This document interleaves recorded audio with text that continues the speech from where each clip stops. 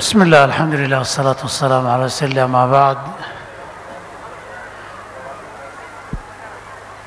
anigaa dalbaday inaan ugu dambeeyo waxaan filayaa ragga manasada jooga ama miiska fadhiya sheekha qof iga yaqaana ama muddada aan isnaqiinay ama aan isleeyahay uu kaa yaqaana ma jiro ragga miiska fadhiya jamhuurta fadhida hal nin baan u malaynaya hortay sanad isbarteen intaan indhahaygu qabteen in wejigooda arko. Hal nin oo ka hor. Sheekh maxamed waxaa is naqaanaa soddon iyo lix sano.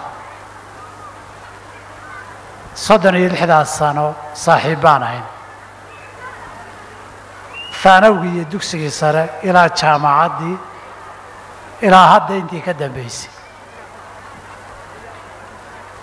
haddii sheekhu meel tago anoon ogeyn inaan la ogahay baa la rumaysan yahay haddii aniga meel laygu arkana inaan isla ognahay baa la rumaysan yahay suxbo dheer oon rajaynaya khayr inay ahayd baana dhex martay. Intaa la yidhi ee badan inaan dhaho ma doonayo laba sababood. Waa midda koowaadee iyadoo wixii guud ee culammadu ka hadleen aanan waxna gaar uga daba tegaynin. Haddana haddii majlis diin aan joogno meeshana culimo joogaan. Qofka isagoo joogo hortiisa in wanaaggiisa lagu sheego wax fiican ma aha ninkii nabiga hortiisa calayhi salatu wasalaam lagu ammaanay wuxuu yidhi walaalkaa dhabarkaad ka jabisay. Aadamuhu intuu nool yahay shaydaanku meelo badan buu ka galaa. Waxay ku habboonayd aniguna aan wax kale ku darsan lahaa majlis uu ka maqan yahay. Laakiin meesha horteeda uu fadhiyo intii abubakar unbaan dhihi lahaa way ugu muhiimsan tahay. Ilaahay sidaan filayno mid ka fiican oo ka khayr badan allaha ka dhigo. Wixii aanaan ogeyn ilaahay ha u dhaafo. Saas hadalkii abubakar ahaa markii hortiisa lagu ammaanay allahuma ajcalnii khayra mima yadunnuun waqfir lii maa laa yaclamuun in wanaagga la sheego la maamuuso way wanaagsan tahay.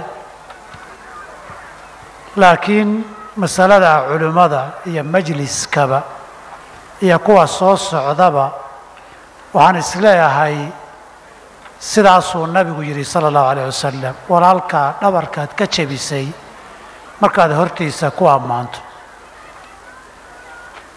Saas darteed waxaan rabaa majliska inaan uga cudur daarto.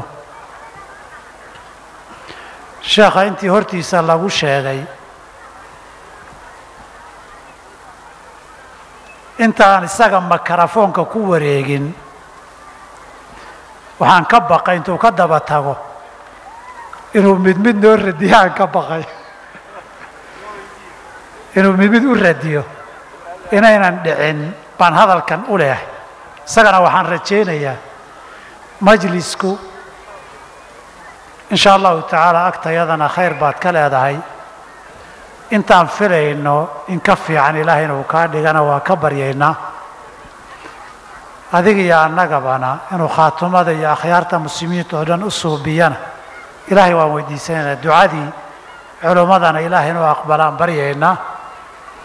هذه أنا حق الله كوسوه wixii aada qadintayna wax naafic oo miisaanka xasanaadka kuu gala allaha ka dhigo dadka walaalaha ahna khayrkaaga iyo wanaaggii unbay jecel yihiinee dhabar inay kaa jabiyaan ma rabaan waxaad un ka soo qaadaa ninkii laga sheegay xilligii maxamed siyaad barraa waxaa la yidhi xaafad buu soo booqday ninkii xaafadda guddoomiyahabaa intuu kala badbatay buu kolba hadalkii ku soo celiyaa markii dambe isagii baa isla yaabay ku celcelinta markaasuu yidhi abasiyaad maxabadaada la iga hadlinaysa maahine hadal waa kii horreeyey buuri dadka aad arkayso wanaag iyo jacayl ay kuu qabaan unbaa laga yaabaa hadalka inuu u yar jiitaye waxaad dhibsatayna raalli ka ahaw